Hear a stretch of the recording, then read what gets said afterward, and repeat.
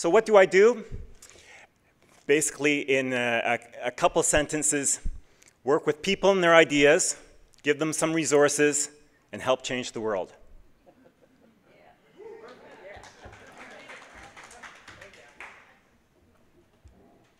And actually, you help us do that. How many people have ever uh, bought or sold real estate in BC? Thank you. Thank you so much. Because every transaction that you make, the deposit that goes into an income trust account, we, we get that interest for that 30 days. And we go and chase it all around every community, every transaction in BC. And then we have about 3 million a year and we invest it back out into communities, into nonprofits, local governments, social enterprises around the, the province. And that's our funding model. First jurisdiction in North America to do it. Now Alberta has uh, copied us, but that is about it.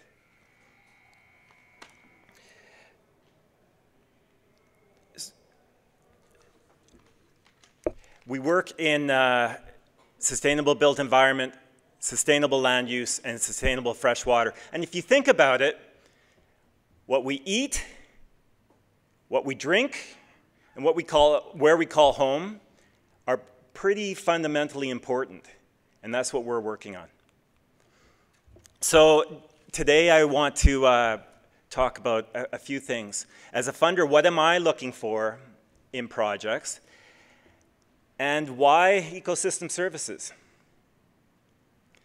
But first, I thought I'd, I'd just start with you know, a funder gets up here, and, and people often scratch their, hand, their heads. Like, what exactly do you do? Like, do you sit in the back room with the vault behind you and just kind of dole out uh, $100 bills? No, no, we don't. But um, there's a lot of different uh, thinking around what people, like, what funders do. Um, you know, what my friends think I do is sit in the back room and, and dole out the $100 bills.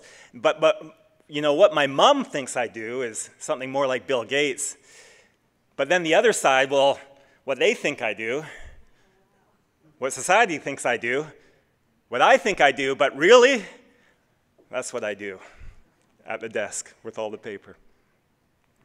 So, Real Estate Foundation in BC, we uh, commissioned a poll a couple years ago with uh, Vancouver Foundation on uh, sustainable food systems and, and land. And Okay, we, we looked at about 1,700 uh, residents in BC, and you know, 19 times out of 20, there was a 2.4% chance of, uh, of error.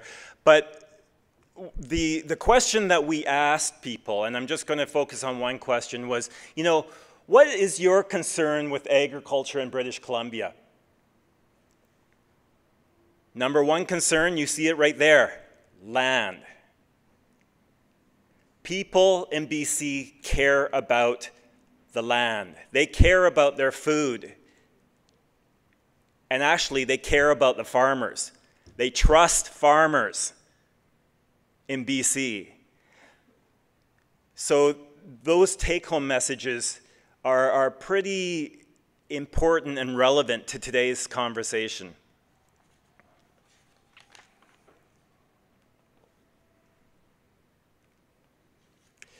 So I, I was uh, going to put a top 10 list together, and I was uh, speaking to a millennial in my office, and she said to me, uh, and I said, yeah, I'm, I, she said, what, what are you working on? And I said, oh, I'm going to do, you know, this top 10 list that Dave Letterman used to do. And, and she looked at me and she said, Dave Letterman, who, who's he? So anyway, um, then I told her about, you know, late night TV and, you know, Jay Leno and John Carson, and then there was Dave Letterman. Anyway, I'm going to do a top five list uh, because we don't have a lot of time. What we are looking for, what I look for in funding, personal champion. And that's often harder to, to find than you think. with ecosystem services as an example, and uh, Zender, I'm not trying to pump up your tires here, okay? But when we can find somebody who can speak in academic circles about ecosystem services and talk about implementation, that gets an audience. Because you know what? The academics, they, they, they can do the concepts, they can write the papers, but when you talk about implementation, people will listen. And then we find somebody who can also talk to farmers about ecosystem services in a legitimate way because guess what? British Columbia, British Columbians trust farmers. That's really important. And you start looking at all of the, the barriers and the obstacles of trying to start a new initiative with new ideas. And guess what, folks? Most of us don't like change.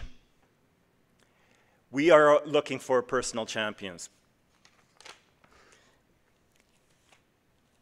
At the Real Estate Foundation, we attempt to address systemic issues rather than band aids and symptoms.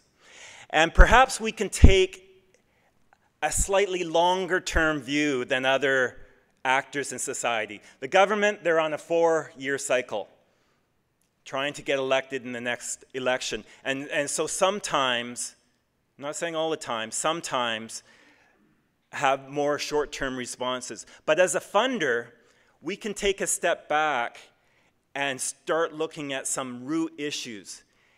And we believe that ecosystem services is one appropriate response that starts looking at some of these root issues.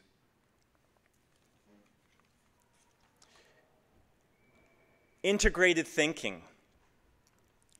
Ecosystem services, and you've heard it all uh, already this morning. It addresses climate change, the soil, the land, drainage issues, pollination, um, biodiversity, wildlife, food security. It involves all of these different things in a holistic matter, manner.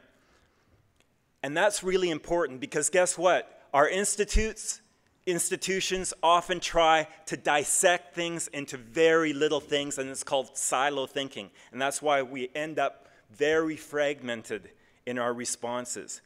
But ecosystem services has a way to pull all, the, all of these together and really start to deal with the issue at hand in a practical manner.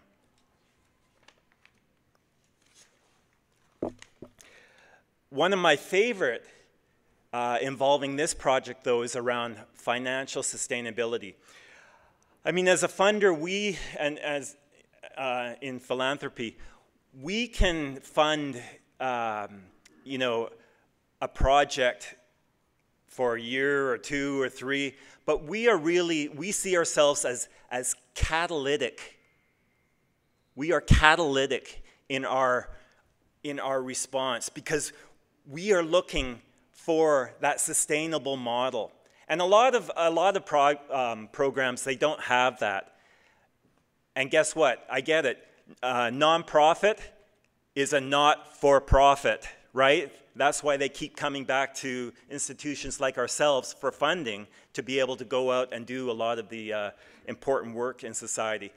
But when we see a financial model being created and we see local communities getting involved, and a big shout out to the township of uh, Langley, which I think Dave will probably mention, about getting behind a program like this with tax dollars, all of a sudden, we start paying attention.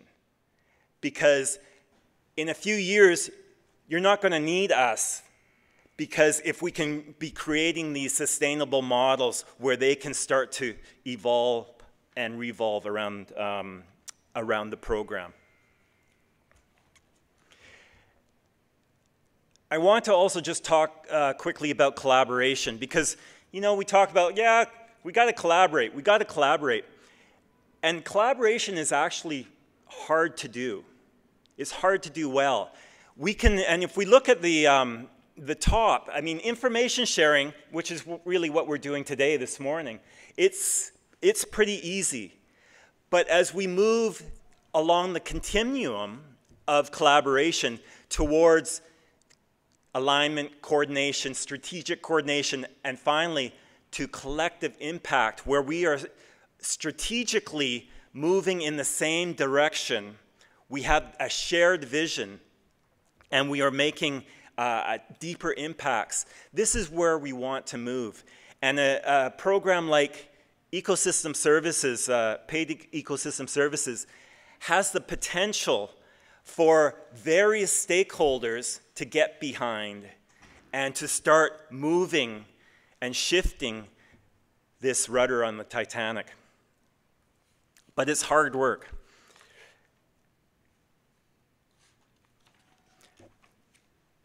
Another thing that I, I um, wanted to mention, one thing that we are really interested in is, and Nancy talked about pilot projects. Pilot projects are great. They're, they show an example, they demonstrate things work. But one, one area that I'm really interested in is how do we scale up? And if you look at this graph, I mean, right now we're in the 2.5%, okay? We are the innovators, people working on this. How do we start moving up that graph and getting into the early adopters and the early majority? How do we take these pilot projects and start to scale them up. And that really interests me because I think for real widespread and permanent change, we need to figure this out. And it's not easy. But if we can together come up with a common vision, define the problem, and then start developing testing and refining solutions, we can move up the scale, and it happens very quickly. Just look at consumer goods. 1984, this thing was this big, and it cost $2,000. In 2007, Steve Jobs, uh, in 77 days, sold a million of these. And now there are uh, one out of two people in the, no, sorry, one out of four people in the world have a smartphone in 2015. It, it can happen quickly if we put our minds to it. So, I want to leave you with a, a, a couple last thoughts because I like being pro provocative. What's in a name? I would argue or suggest maybe we've got the name wrong. Ecosystem services. What does that mean? What does that mean to the public?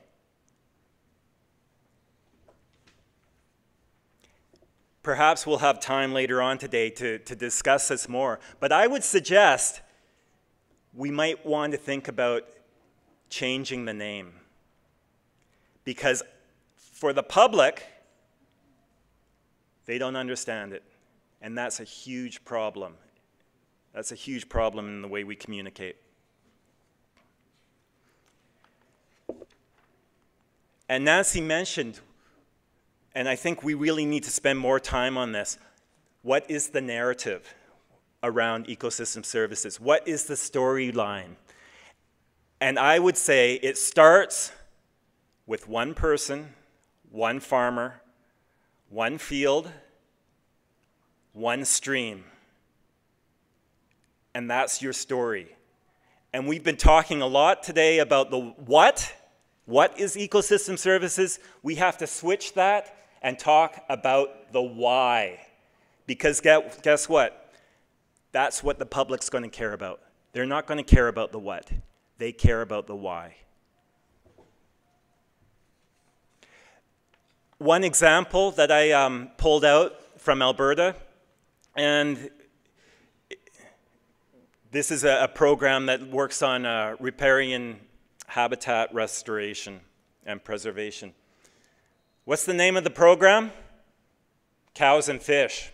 Get it? And that's why I think I would like to have more dialogue about how we communicate and that names matter. So, to sum up, we look for innovation and leadership. We look for strong partnerships. We look for financial sustainability and longevity. And we look for ways that, that programs, initiatives can be scaled up. And we need your help in doing that because I think we're onto something here. And as we've heard, everyone else in the world, a lot of the world is doing this. Canada is a bit of a laggard, but we can catch up really quickly. Thank you.